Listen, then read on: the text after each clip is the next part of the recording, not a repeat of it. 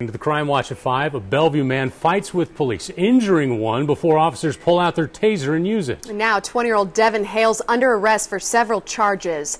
It happened in the Royal Oaks apartments near the 1300 block of Galvin Road just before midnight. And that is where KETV News Watch 7's Hannah Pickett joins us live.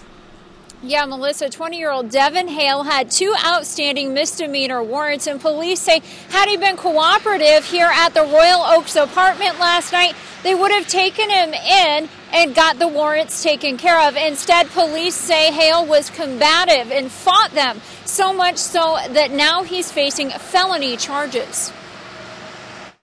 A taser probe stuck in his chest. 20 year old Devin Hale handcuffed, arrested minutes after punching and kicking three Bellevue police officers. It was a pretty vicious fight there for a few minutes. Just before midnight Sunday, a concerned mother called police, unable to get a hold of her 16 year old daughter, who she believed was with Hale at the Royal Oaks apartments. According to the mother's report to the officers, it, it sounded like her daughter was scared and believed she might be in danger.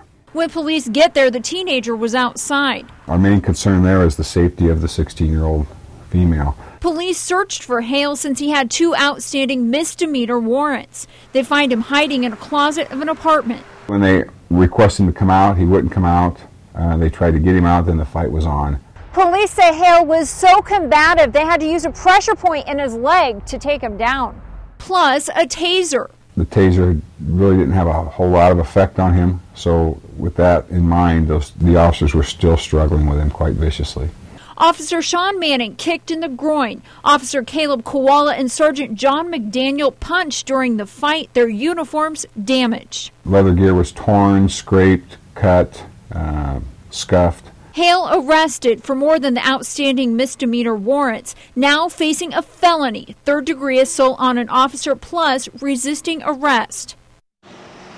Now, Devin Hale is still booked in Sarpy County tonight. He's scheduled to go before a judge in Sarpy County Jail Court later this week. Reporting live, Hannah Pickett, KETV, News Watch 7.